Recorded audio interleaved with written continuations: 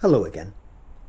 In addition to the regular interviews, I'm going to be recording a series of mini documentaries about the badgers and other wildlife of a North Yorkshire woodland. Thirty years ago, in my youth, there was a badger sett near my house. The locality was called the White Quarries. Having found the sett, in summer I used to go regularly, making sure I was in position about an hour before dusk. All would be quiet.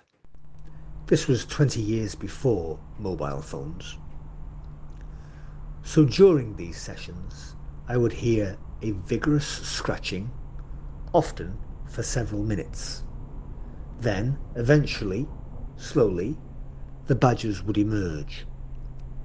Sometimes they would stay playing around the sett.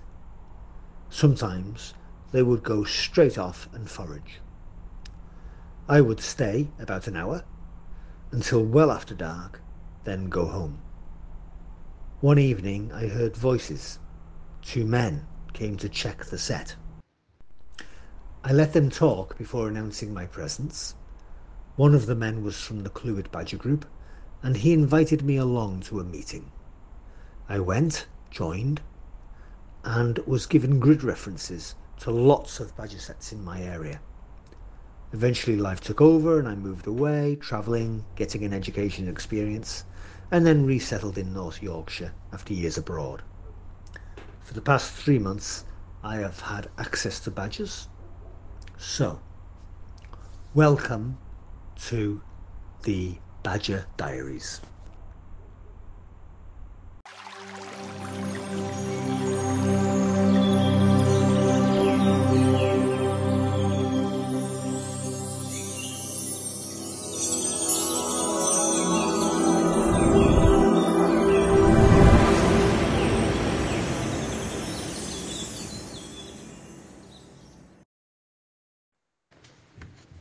Roe deer are really plentiful in the woods all around this area. You occasionally see them during the day, but they're mainly active at night. As regards the badgers, one of the first things they'll do after emerging is begin to forage, off and on, all night long, like this one in the leaf litter. Behind it you can see a huge mound where the sett is.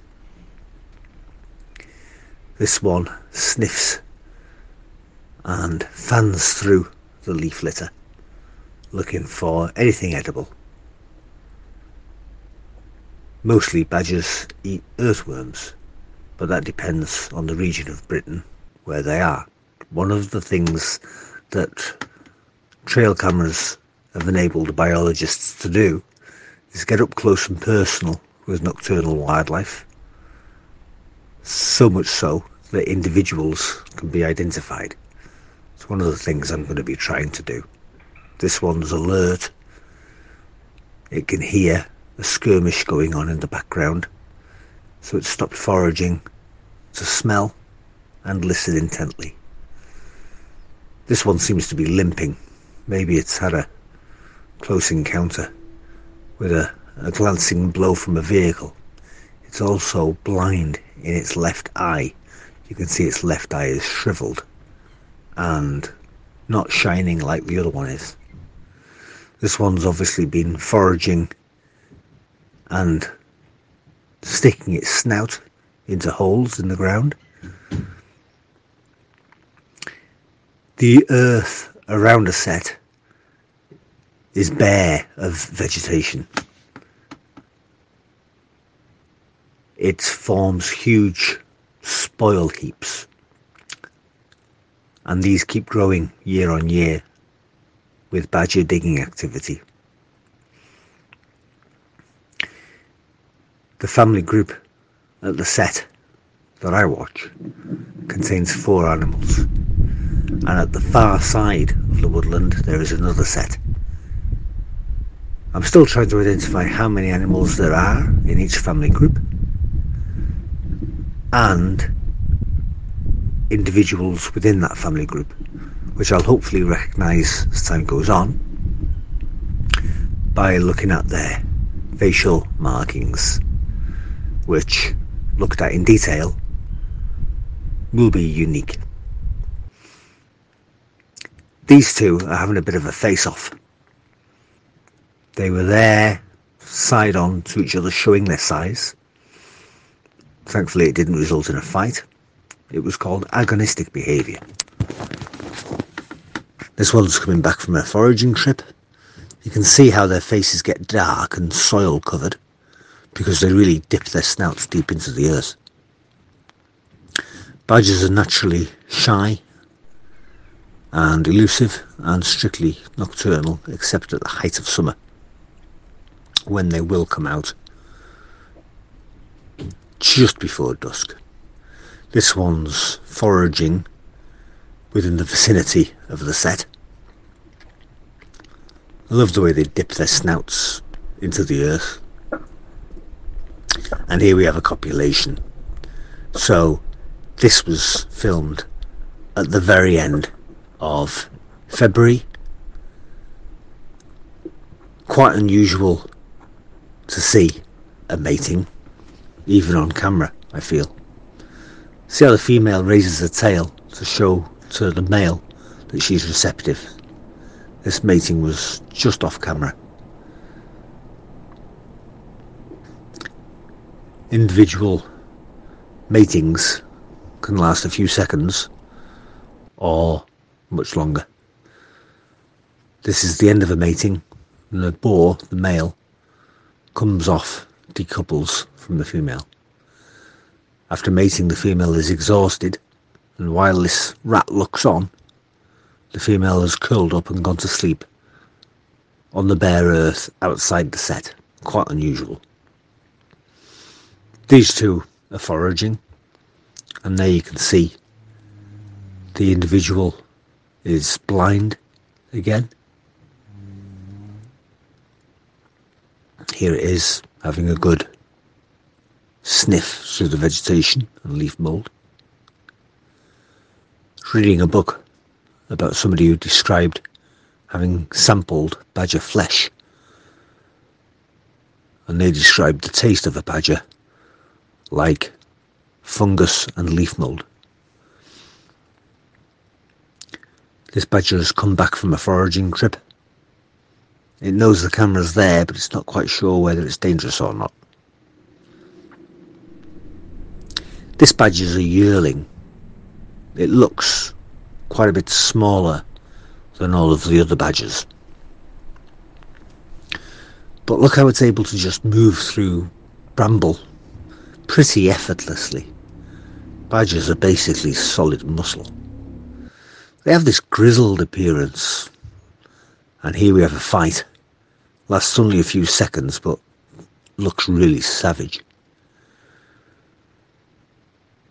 this pair of badgers aware of the camera but not too bothered by it. And here we have a fox skirting the edge of the woodland looking for prey. I'm quite surprised really because I don't see many foxes in this area of North Yorkshire at all. This badger's foraging, unaware of the camera, gradually coming closer and closer. You can see it's it's found food and it's chewing. And that's exactly the sort of profile that you want to see when you want to identify individuals, which I haven't been able to do yet. But as time goes on, no doubt I will. That badger just touched the ground with the base of its tail. It's got glands at the base of its tail. These are called musk glands.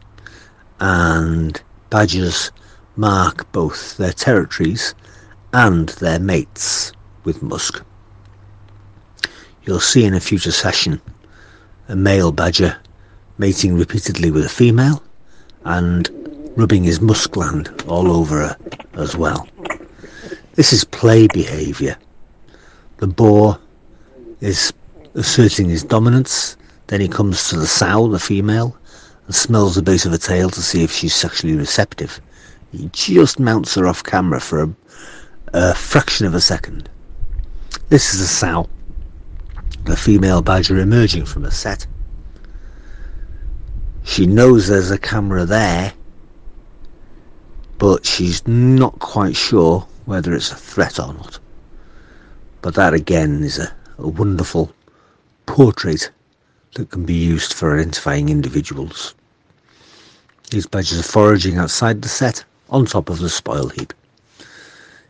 These are cold nights at the end of May, of the end of February, and this rabbit is out foraging for food and poised to run away.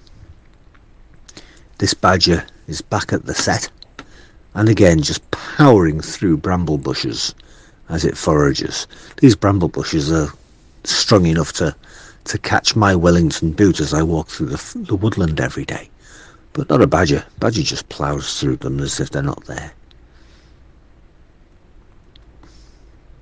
This one's foraging. It's found something and is having a quick chew and a swallow. Looks to me like it's a sow. A young female. A yearling. And here we have another one just coming into the picture. Again, a sow, judging by the reduced size of the musculature in the lower jaw. It looks like a supermodel to me, looking over its shoulder and striking a pose.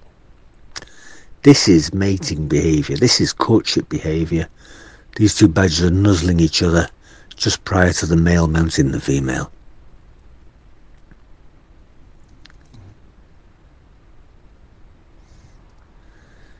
No, she's not quite ready, and he moves on. It is possible, of course, with trail cameras to see which badgers are pregnant. You can't be absolutely sure. But the night shift gives way to the day shift. There goes a roe deer. Thanks for watching and watch next week.